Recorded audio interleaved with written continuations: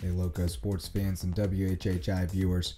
We had a busy slate of high school football games in week five across the low country, and it's Monday, so let's get to Lowco Lights on WHHI.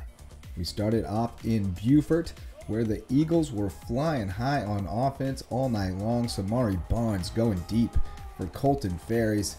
The App State commit with the touchdown grab, and Bobcats can throw it too. Jalen Linder hauls in the long bomb from Max von Hohenstraten. Looked like it might be a shootout early, but then it was Casey Fields' time. You remember him from his stellar performance on WHHI last week against May River. Well, he did a little bit more this time. This is one of his five touchdown runs on the day. And uh, just for good measure, Casey did it one more time. Splits the big gap created by that monster offensive line and goes all the way to the house 341 rushing yards and 5 TDs for Casey Fields.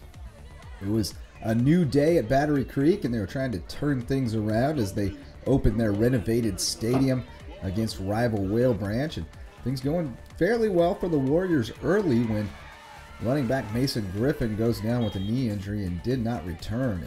Battery Creek's defense was feasting on the backups. The Dolphins played nasty on D all night, and then they got that ground game going with Damian Freeman and Jeremiah McEachin. Dynamic duo doing damage. They both went over 85 yards and found the end zone. In fact, McEachin found it twice.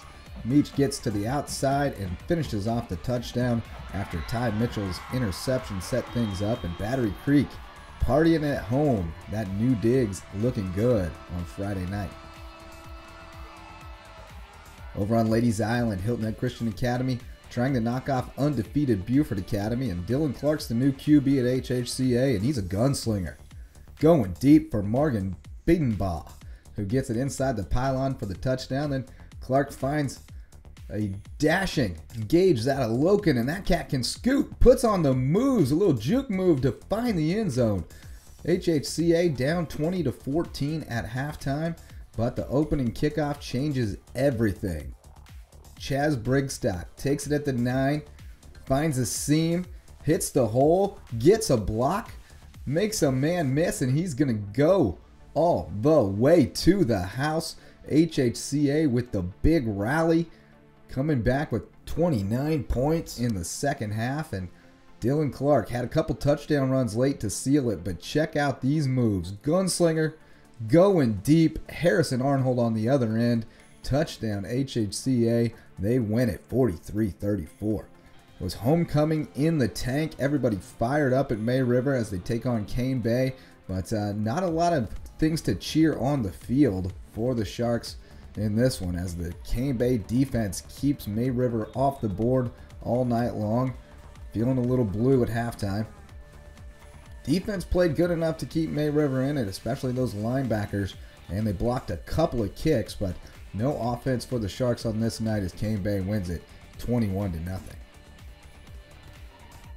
And we pay a visit to John Paul II. These guys have been putting up big numbers on offense all season long, and Christian Tilton doing Christian Tilton things, dancing along the sideline to get into the end zone.